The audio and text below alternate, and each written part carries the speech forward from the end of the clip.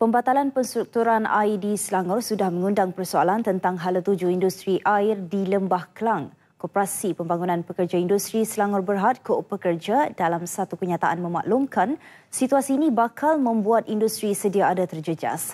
Industri yang sedia ada mungkin akan bertindak mengalihkan kilang-kilang mereka ke tempat lain sekiranya masalah kekurangan bekalan air masih tidak ditangani segera.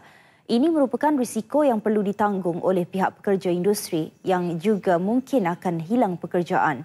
Situasi itu juga boleh memberi kesan ke atas kemasukan pelabur luar ke Selangor.